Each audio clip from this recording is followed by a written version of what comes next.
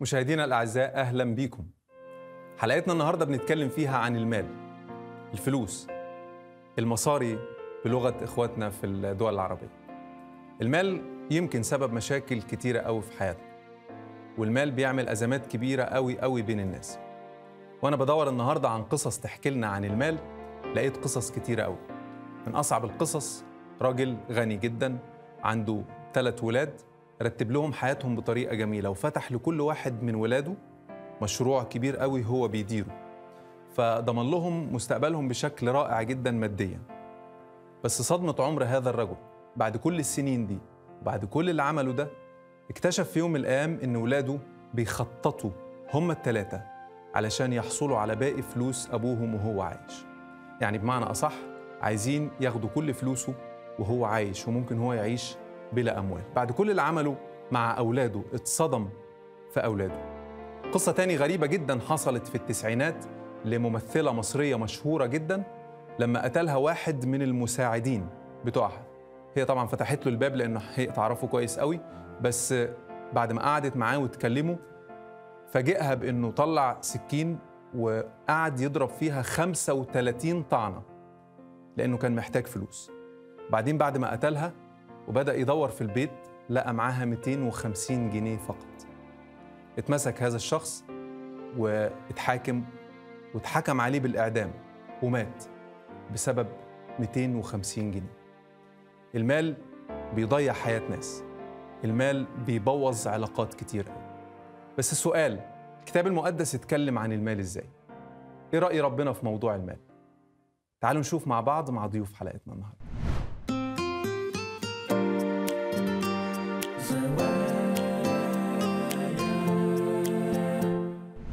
إحنا في حلقتنا النهارده بنتكلم عن المال. المال. آه ربنا يستر علينا كلنا. سؤالي لحضرتك في الأول ليه ممكن المال يوصل واحد إنه يسرق أو يقتل أو يعمل حاجات صعبة جدا آه، لدرجة إنه بنحس أحيانا إنه معمي عن اللي بيعمله بسبب المال؟ يعني في حاجات اسمها الأشياء التي تسيطر على القلب البشري. مم. والحقيقة ال- الكتاب المقدس اتكلم عن حاجات زي كده. ولما حاجة تسيطر وابقى أنا عايزها وأدور عليها هدور بإيديا وأسناني مش مقدر العواقب جدي وعلى حج على قدر حجم سيطرتها على جد على قدر حجم ان أنا ركنت العواقب جانبا. مهما كانت هذه العواقب سيئة. المال واحد من الحاجات دي. الكتاب اتكلم مثلا عن آه، الشهوات والغريزة لما تسيطر على واحد الكتاب قال ممكن تسيطر عليه وي- ويمشي في طريق تحقيق الغريزة زي ثور يقاد إلى الذبح. تخيل. يا- آه. في سفر الأمثال اصحاح أيوة. سبعة. برضه قال محبة المال وهنا بقى مش المال. ودي اللي عايز. أقف عندها كتير. آه. مش المال في حد ذاته. لكن إذا تعلق القلب من المال وأصبح معبود الشخص مسيطر عليه على الشخص في هذه الحالة. محبة المال الكتاب قال عنها. أنت أصل. بتقول إزاي يعمل حاجات غريبة شوية. أيوه أيوه. أصل لإيه؟ كل الشروط. مش لشر لكن أصل لكل الشرور واحد من خدام زمان قال حاجة جميلة قوي. قال المال هو اللي بيكشف الإنسان. يعني كانوا بيقولوا الأخ ده حلو قوي ومضحي وتاعب ومش عارف إيه. فبص كده قالوا استنوا لما استنى لما يشتغل وتجري في إيديه الفلوس. هيتكشف لما تجري في إيديه الفلوس. وياما ناس يمشوا زي الفل لكن تبص تلاقي أول ما حصلت مشاكل مالية معاهم الواحد يخسر أهله ويخسر ناسه ويخسر بيته وكلام زي كده. طب ده اللي حصل معاه إنه هو لما ما كانش معاه في الأول محبة المال موجودة بس ما كانش معاه حاجة يلتصق بيها؟ يعني هل المحبة دي موجودة ولا بتتولد بزيادة الفلوس؟ الاثنين. آه. بتبقى موجودة لأن كل واحد فينا مال إلى طريقه. مم. وبالتالي كل واحد فينا عنده رغبات مسيطرة على قلبه. تمام. اللي مسيطر على قلبه المال في عيال بشوف الكلام ده الطفل من صغره يحوش مليم بمليم والهدايا اللي ياخدها ما, يمسكش أهله ما يشيله. لما تيجي تقول له روح اصرف كذا على نفسك ما يرضاش. بابا يديني. انت إيه؟ لا الحصالة لازم تكبر. آه في عيال كده. ففاكر في مرة في طفل حاولوا فيه يروح يدفع عطا من فلوسه. ابدا. ما ينفعش فلوسي أنا. الحاجة الثانية بقى الماء الأموال تعطش للأموال. آه. يعني دي حاجة معروفة مثلا واحد يبقى عطشان يكون مليون جنيه صح؟ مم. ما جاش في ذهنه أكتر من مليون. مم. بعد ما يكون المليون ما بيعطش ل 2 مليون لكن بيعطش ل 10 يا. آه. إيه اللي آه. حصل؟ لأن كل من يشرب من هذا الماء يعطش. أيضا ده مبدأ ينطبق على المال وينطبق على آه طبعا عشان كده اللي بيلعبوا على الفلوس والحاجات دي بتلاقيه ممكن يقضي 24 ساعة شغال في القصة دي لأنه طول الوقت عايز يزود. عايز يزود. آه. ومش ومش هيشبع. مم. آه، من من يحب الغنى لا يشبع من الثروة. مم. يعني طب هل ده مرتبط بالبيئة؟ يعني الطفل اللي حضرتك بتتكلم عنه ده هل شاف والديه كده؟ ولا القصة ملهاش دعوة بالبيئة؟ مش بالضرورة. يا مش بالضرورة. آه، ما هو دي فكرة مال كل واحد إلى طريقه. يعني إحنا كلنا مولودين كل واحد عنده عوج شكل.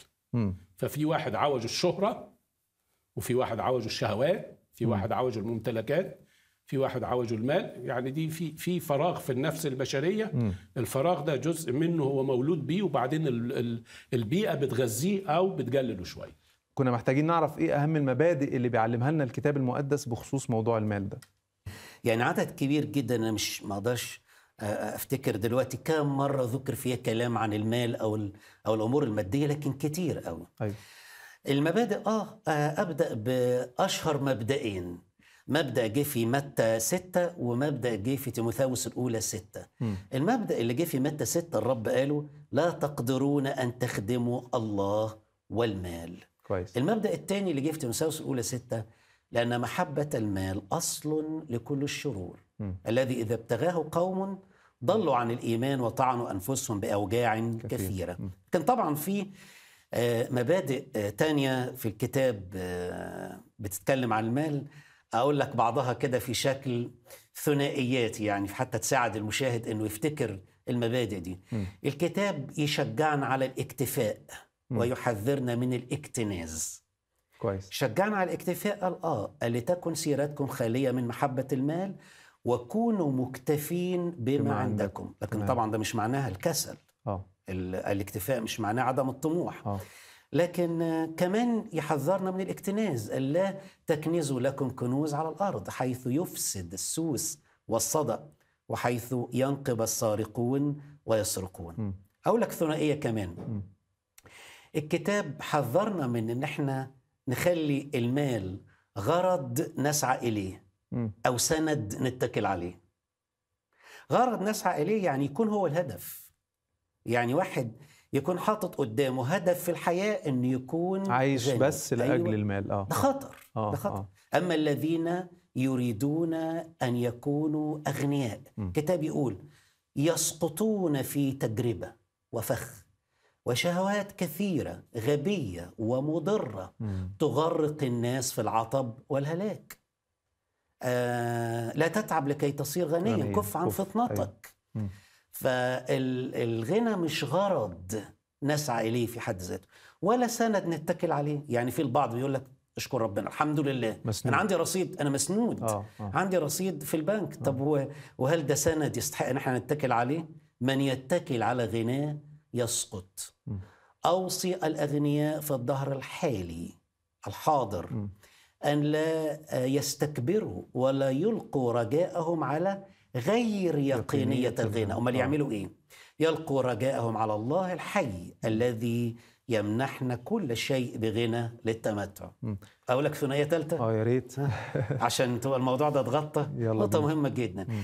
المال ده ممكن يكون بركة الخيرنا آه. أو ترك الغيرنا بركة الخيرنا في الحياة. مم. لو استخدمناه صح وترك الغيرنا بعد الممات إذا ما استخدمناهوش صح إذا اكتنزناه يعني. مم. يعني إيه بركة الخيرنا؟ يعني إذا كنا أسخياء في العطاء زي ما الكتاب بيقول من يزرع بالبركات فبالبركات يحصد. مم. تبقى الحياة مليانة بركة. إذا استخدمناه استخدام صحيح لبركة الآخرين. لكن افرض بقى طبعا أغلب المؤمنين هم اللي بيقعوا في النقطة الثانية إنه عندهم ميل لل- للاكتناز. ده هيعملوا بيه إيه ده؟ هيتساب لغيرهم. يذخرون ذخائر ولا يدرون من يضمها. إننا لم ندخل العالم بشيء. وواضح. كلمة واضح دي يعني أنتوا شايفين بعينيكم. أنتوا ما حضرتوش جنازات؟ يعني عمرك شفت عربية موتى وراها مقطورة؟ ها؟ واضح إننا لا نقدر أن نخرج منه بشيء. بس الزاوية اللي حضرتك بتتكلم منها دي تحسسني كده إن الكتاب المقدس ضد المال والمعاملات التجارية و...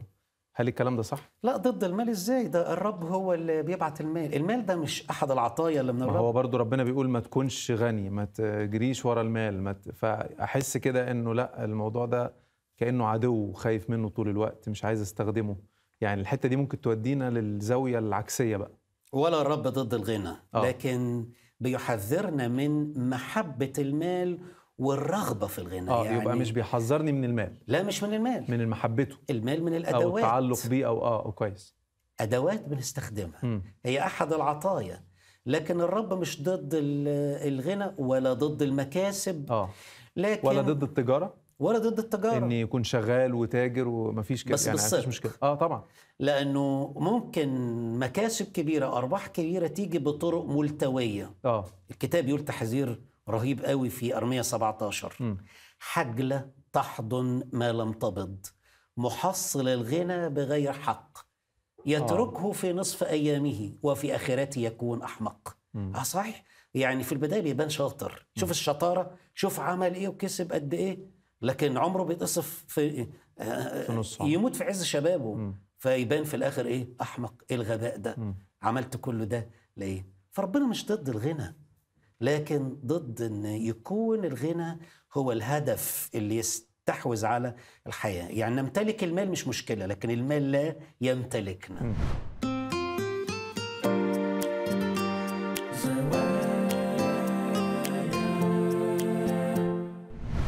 لا يقدر أحد أن يخدم سيدين لأنه إما أن يبغض الواحد ويحب الآخر أو يلازم الواحد ويحتقر الآخر. لا تقدرون أن تخدموا الله والمال.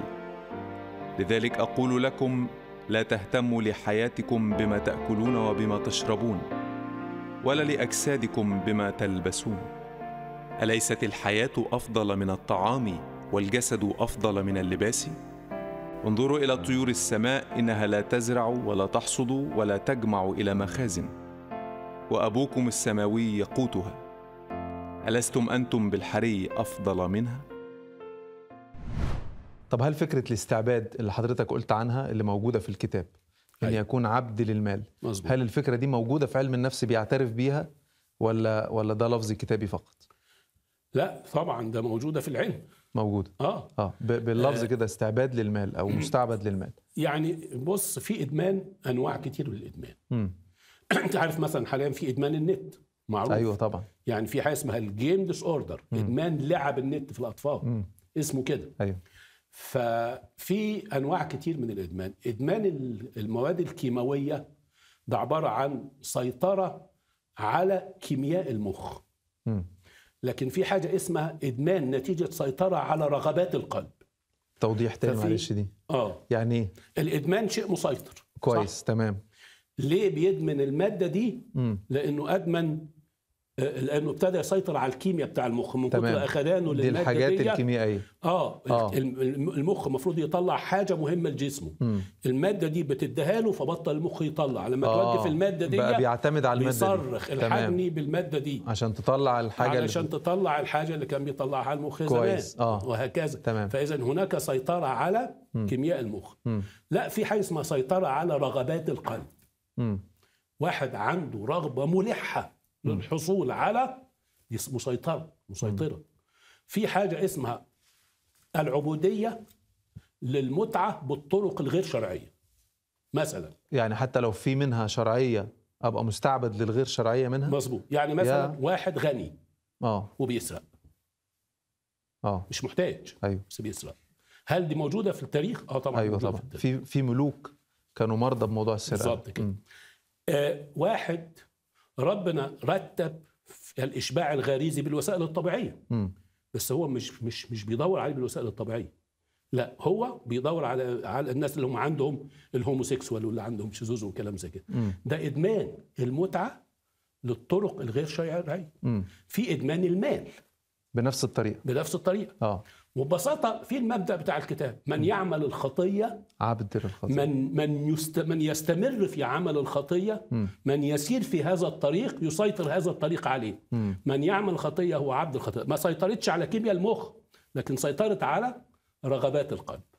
طيب هل حضرتك في خلال حياتك وخدمتك قابلت ناس من النوع ده؟ شفت قد إيه المال مسيطر عليه؟ مش بنتكلم كمان عن صغيرين لكن ناس كبار وناس يمكن ليهم باع طويل جدا في الحياة الروحية ممكن أو في الخدمة وعنده أزمة في الحتة دي؟ شفت ناس كانوا في منتهى البخل وحب العطاء عندهم كان رائع بعد كده. العطاء بتدبير بعد تحول. كده. آه طبعا تحول. آه. آه الفلوس ما بقيتش غالية بهذا الشكل. مم. مش هي اللي موفرة لهم الأمان. مم. المفاهيم بتاعهم بي- بيغيروا بي بي بي بيفكروا بطريقة مختلفة لأن الحقيقة ال- المال كمان يوهم. يعني إيه يوهم؟ يعني مثلا الكتاب لما قال أوصي الأغنياء. دول أغنياء يعني عندهم فلوس. أيوه. إنهم في حاجات المال بيحسسهم بيها ياخدوا بالهم منها. مم. أن لا يستكبروا. مم. فالمال يحسسنا انه عظيم. آه تمام. ولا يتكلوا على غير يقينية الغنى. يحس إن في يقين وأمان. عندي آه ده عندي أمان. آه. فمن ناحية اللي عنده قرش يساوي قرش صح؟ من ناحية تانية ان أنا احس بالأمان. عييت عندي فلوس تتعالج. هتعالج عايز أسافر؟ عايز أسافر. عايز فيلا؟ هروح أجيب فيلا. أنا ما, ما فيش حاجة نقصان. فهناك إحساس وهمي يشع يشعر به الشخص اللي عنده فلوس كتير. بس في الآخر لما يكتشف إن ماشي ماشي ماشي بس في الآخر إحساس وهمي ده اللي اكتشفه آه، سليمان آه، في الآخر. طب حضرتك أشرت للآية اللي المسيح قالها؟ فكرة إنه ما ينفعش الإنسان يخدم سيدين. إما الله أو المال. يعني مش عارف حاسس الموضوع ربنا حط ربنا يعني المسيح اتكلم عن الله في حتة والمال في الناحية التانية. فهل للدرجة دي المال خطر؟ طبعا خطر. يعني هو قال عنه سيد زي ما قال عن الله إنه سيد. مم. هل للدرجة دي؟ شوف ال- المال ممكن يكون خادم جيد مم. وممكن يكون سيد قاسي. إذا امتلك قلب المؤمن أو الإنسان عموما طبعا المؤمن بيحذر من الأمر ده زي ما بولس قال لتيموثاوس يا إنسان الله اهرب من هذا اهرب من هذا يعني هو معرض أن يقع في فخ زي كده إنه إنه يحب المال فاللي بيحب المال هيضطر يعمل أي حاجة عشان يحصل على مزيد من المال مم. والإنسان مش بيشبع زي ما الجامعة قال صح، من صح. يحب الفضة لا يشبع من الفضة مم. فممكن يقع في أخطاء متكررة بقى اللي بيحركه اللي, اللي, اللي بيحركه هو المال اللي بيسيطر عليه هو المال. مم. هنا بقى المال سيد أو إله. مم. فإما أنه يمشي وراه أو يمشي مع الرب. مم. لأنه طاعة الرب ممكن تكلف ممكن تكلف تضحية بالمال. ليه المال سيد قاسي؟ يعني دايما يبقى ورا حاجات كتيرة وكوارث كبيرة قوي اشمعنى المال بالذات؟ آه، يعني أنا قلت لحضرتك حاجتين وإحنا بنتكلم. أيوه. الحاجة الأولى أن محبة المال وليس المال. أيوه. أصل لكل الشرور تمام. يخلي الواحد ما يحسبش العواقب. مم. يحصل اللي يحصل. يا عم ممكن تتمسك وأنت بتسرق. هو مش شايف لا. دي. طب وأنت بتكسب ال- اللعبة دي اللي أنت بتلعبها. دي غير شرعية. أنا هقدم آه، رشاوي وفي الآخر أنا هاخد الحكاية. ممكن يحصل. مش واخد بالي من الكلام ده كله. فشوف السيطرة بتاعته. بتعمل إيه؟ بالإضافة لكده الأحاسيس الوهمية اللي أنا أشرت إليها من شوية. آه. الإحساس بالنشوة الإحساس بالعظمة يعني يمكن حضرتك فاكر إني في ناس كتير بس المال هو بالنسبة لهم كل حاجة. لا يتميزوا إلا بالفلوس. لكن بعد كده بصينا لقيناهم اترشحوا في مجلس الشعب هم لا بتوع سياسة ولا يفهموا في السياسة ولا كلام زي كده. إيه اللي حصل. المال. اللي حصل؟ المال خلاهم لا الواحد كمان عايز يبقى مشهور. ما دام في مال آه. هيبقى مشهور. بس لاقي واحد فيهم راح متجوز مغنية. هي خدته عشان إيه؟ فلوس. عشان فلوس. مم. بعدين من غيرته عليها يمكن في عندنا قصص معروفة زي كده. مم. يقتلها أو يسلط حد يقتلها. أيوة، في أيوة، قصص أيوة، معروفة أيوة. في ال... يعني عندنا في كلام زي كده. إيه اللي حصل؟ صح. إيه كل ده؟ مم. بدأ من إيه؟ بدأ من المال يا. فشوف سيطرة المال فظيعة يعني.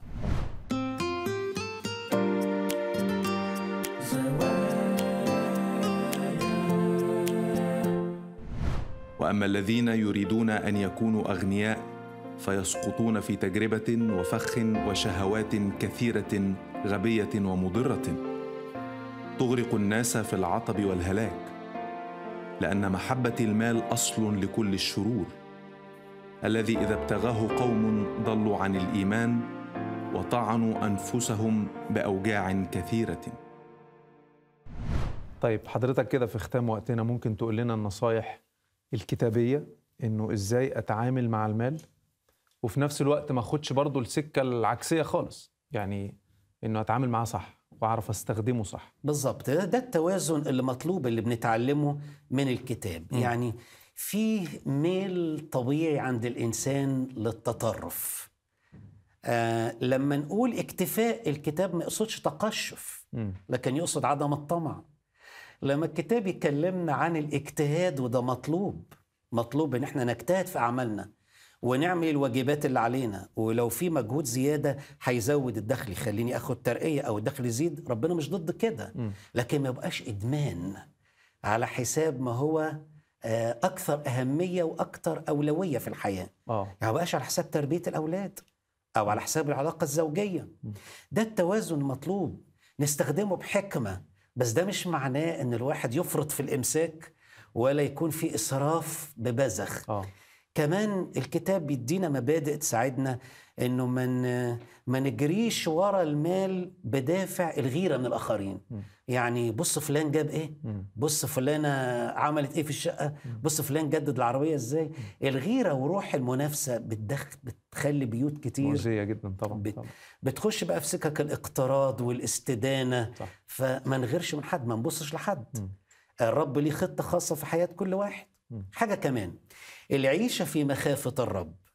تخلينا نثق في الرب إنه عنده وقت بيه ممكن يعوض ويسدد كل احتياج ويجود وهو كافي لينا من كل وجه. أمثلة كتير في الكتاب بنشوف فيها الرب بيكافئ المؤمنين الأتقياء وحتى أولادهم بيختبروا جود مادي من الرب مكافأة لتقوى أبائهم.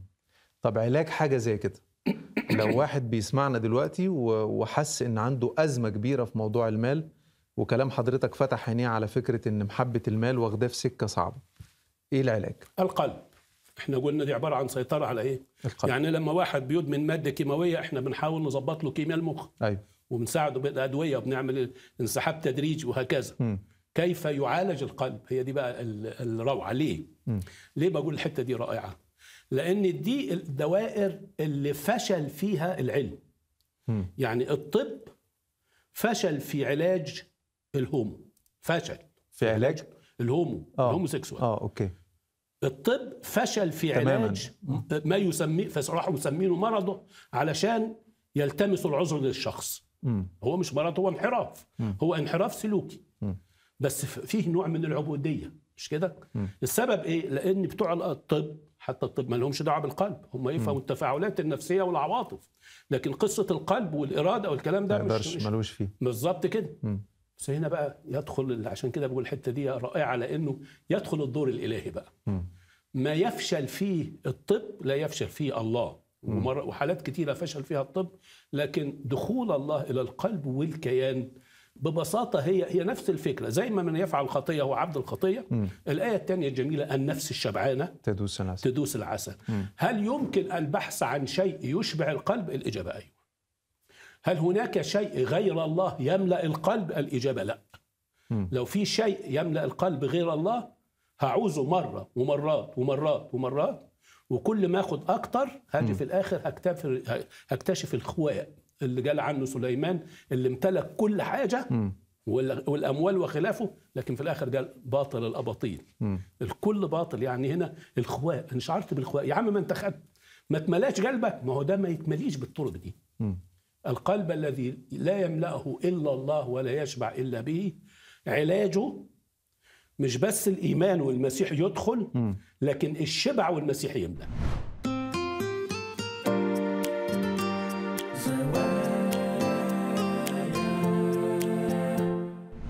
مشاهدينا الأعزاء أهلا بكم بنتكلم عن المال في حلقة النهارده. ربنا مش ضد المال ابدا. ربنا مش ضد إن أنا أشتغل وإن أنا أدور وأتعب لأجل ولادي. ربنا مش ضد ابدا إنه يبعت لي فلوس كمان ويباركني بخيرات وبركات كتيره قوي. المال بركة. بس الحقيقة في رسالة بولس الرسول إلى تيموثاوس أصحاح 6 وعدد 10 بيقول بولس الرسول لأن محبة المال أصل لكل الشرور. الذي إذا ابتغاه قوم ضلوا عن الإيمان وطعنوا أنفسهم بأوجاع كثيرة. الكتاب المقدس لما بيقول لنا مش بيقول لنا المال أصل لكل الشرور. لا المال مش أصل للشرور. المال بركة حقيقية لحياتنا. المال ربنا كمان بيستخدمه في حياتنا لبركة ناس كتيرة قوي. لولا المال ما كانش فيه خدمات كتيرة قوي ينفع تتعمل للناس.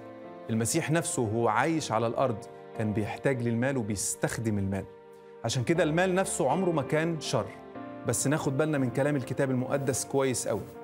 ودي فرصة أقول لك مشاهدي العزيز وأنت بتقرأ الكتاب المقدس ركز في كل كلمة ما تاخدش الموضوع على بعضه. الكتاب المقدس لما بيتكلم قال محبة المال هي أصل لكل الشرور. يبقى مش المال نفسه لكن محبته. وأعتقد ده كلام طبيعي ومنطقي وواقعي. لما أحب المال وأفضل متعلق بالمال وكل تصرفاتي بتدور حوالين المال أكيد ممكن أعمل أي حاجة بسبب المال. ممكن أعمل أي حاجة علشان أكون أغنى وأكون أفضل من اللي حواليا حتى لو الحاجة دي شر. ليه؟ لأنه المال هو الهدف مش أي حاجة تاني.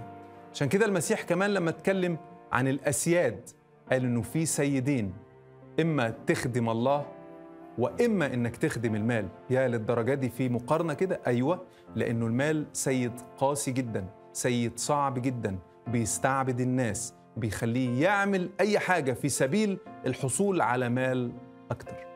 نتمنى النهارده إن تكون حلقتنا فرقت معاكم في موضوع المال. انتظرونا في مواضيع جديدة مختلفة وحلقات تانية من برنامج زوايا